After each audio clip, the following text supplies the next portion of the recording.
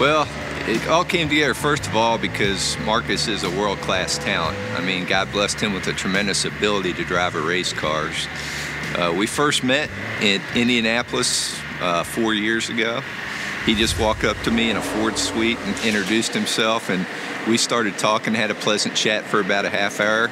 I was not a V8 supercar fan, I'm ashamed to say, so uh, I did not know who Marcos was at the time. I went back to my motorhome, looked him up on the internet, and realized that he was a great talent and one of the world class drivers. So, uh, obviously, the next time I spoke to him, we, we talked a little bit more business than we did the first time. But uh, just just uh, he was bold enough to walk up and introduce himself, and, uh, and we took it from there.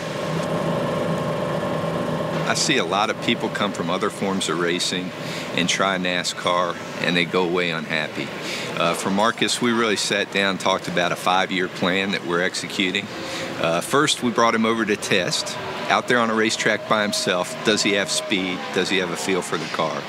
Uh, he passed that test, so we talked about him moving over here and starting at really the lower ranks of NASCAR. We see that number 20 of Marcos Ambrose being his first ever the NASCAR Craftsman Truck Series.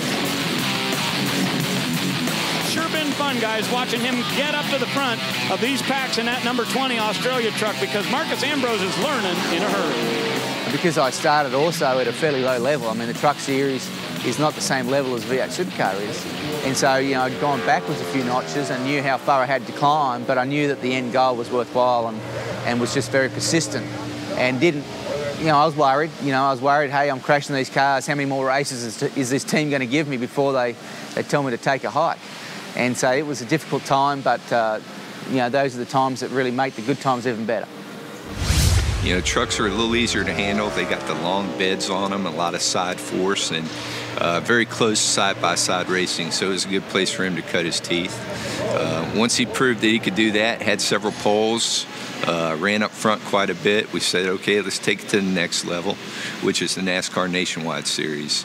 Uh, in Nationwide for two years, he was racing every weekend against Cup regulars, really cutting his teeth and seeing how he measured up and driving cars that handle a little bit closer to the Cup cars.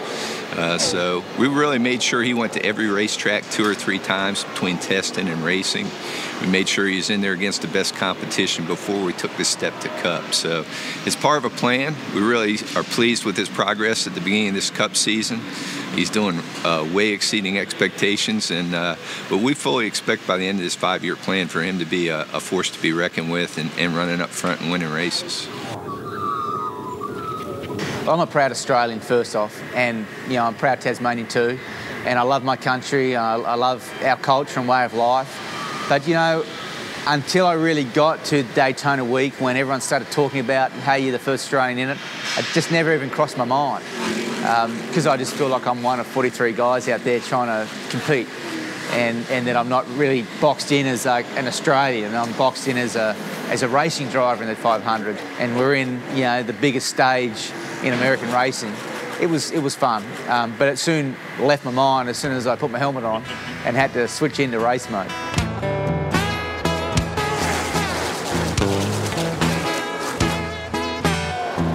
I've been lucky enough, I've had the same team owners my entire NASCAR career so far. Tad and Jodi Geschickter have been very loyal to me, and I've driven for them in the trucks, Nationwide Series, now the Sprint Cup Series. Now the form and the associations that we had and the way the team was set up was different. Um, JTG is a marketing company as well as a race team. So the marketing company bring in the dollars and, and they put that to their best program that they can put together, whether it be their own team, whether it be taking that sponsorship and, and me as a driver and a crew chief and a few other key people into another group. Now, to get to Sprint Cup racing, it was a big jump. I mean, you're talking from a $4 million budget to a $15 million budget. And so all our money went into running the car. I mean, there was a lot that needed to be put together, and we just didn't have the resources to throw at it. And so our only real option was to, to join in with an existing cup operation. And so we've been able to, to allow Michael Waltrip Racing to stay as a three-car team and have all that continuity with their people and infrastructure in place. And we've been able to get a benefit from that by getting immediate success for performance.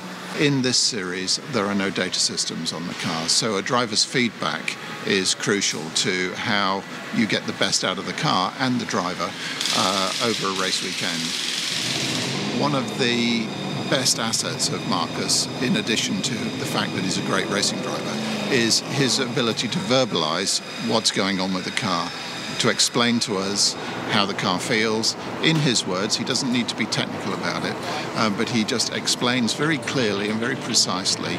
It's almost as if he's been pre-programmed to to deliver this on a regular basis when the car stops. It really does help us tremendously. I rely on instinct and reaction rather than planning and and, and being prepared, you know. And uh, and so when I get in those really intense difficult situations where it's a brain strain, you know, I just turn the brain off and just, just go on instinct. And that tends to work out pretty well most of the time. His feedback is, is incredible. He gets great feedback. He has very good feel for what the car does. And um, in our series where we don't have a lot of instrumentation or data coming from the car, we rely very heavily on, uh, on what the driver says about the car, uh, what we need to do to make it go faster.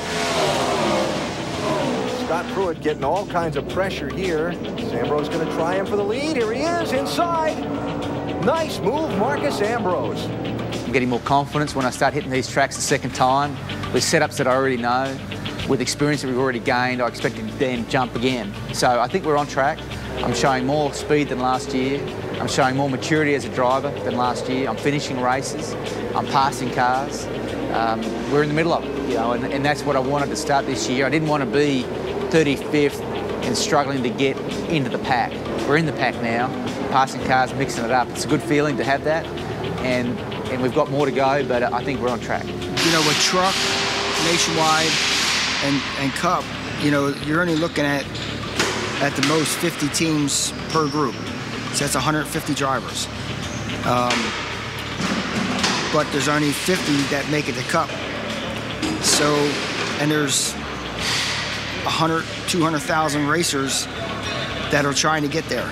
And for him to make it and to run well and do well, and I mean, everybody's looking at him now, you know, how much talent and desire he has to do this. And, you know, the, people at the racetrack are realizing how much talent he really does have.